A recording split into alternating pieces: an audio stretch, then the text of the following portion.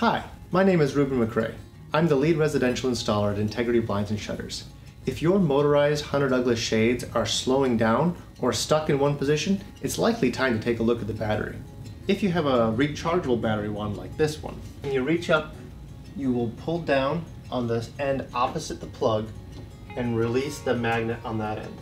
The other end just fits in the side. Once you get them down, you just press these all the way in to the charging base and it'll take about two to three hours for those to charge all the way and that light will turn from that orange to a green.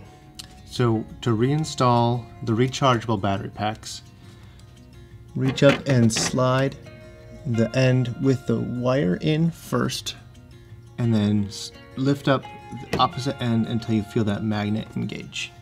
If you have a AA battery pack like this one, remove the pack from the clip and unplug it.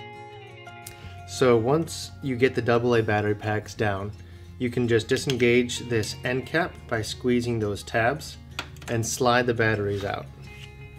So you can replace those with 12 alkaline AA batteries, making sure that the orientation of the batteries is correct. And then just slide this end cap back on till you hear that click and you're ready to reinstall it into your shade. So when you're reinstalling these AA battery packs, first you want to plug in the wire and then you can press it up into the clip and don't be afraid to press pretty hard to make sure that engages completely.